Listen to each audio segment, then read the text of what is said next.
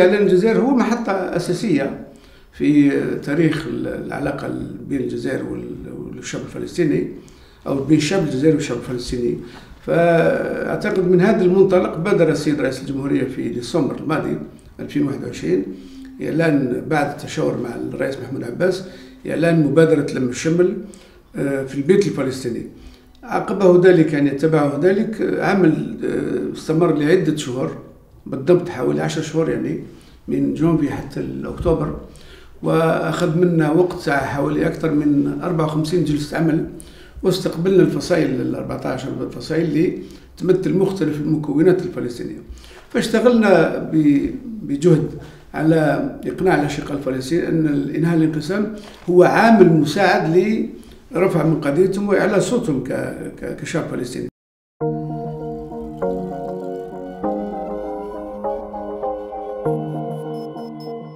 إعلان الجزائر حول القضية الفلسطينية حول لم الشمل الفلسطيني جاء في وقت المناسب ثم صادف أنه جاء قبل انعقاد القمة في دورتها 31 ونأمل كثير أن القمة تبارك هذا المسعى وتضع له ما يسمى بخارطه الطريق من حيث الآلية التي أنشئت لتنفيذ آه، إعلان الجزائر.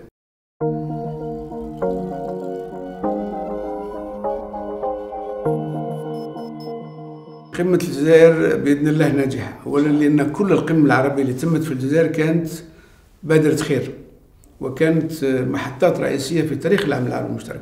أنا تكلمت على 94 93 تكلمت على 88 تكلمت على 2005 ونحن اليوم في 2022 ليش؟ لسبب بسيط وأن الجزائر صادقة في المسعى ولا تريد كسب شيء في هذا الموضوع بقدر ما تريد. لم الشمل الفلسطيني كنقطة هامة ثم لم الشمل العربي الدول العربية. إذا آه، طبعا تعرف في المؤتمرات واللقاءات دائما ما تكون محل نقاش ومحل حتى اختلافات وهذا شيء طبيعي. اختلافات في الرؤى اختلافات في المقاربة. لكن في الأخير لا شك في ذلك أن قمة الجزائر ستكون ناجحة وستكون لبنة جديدة أو إضافة جديدة للعمل العربي المشترك.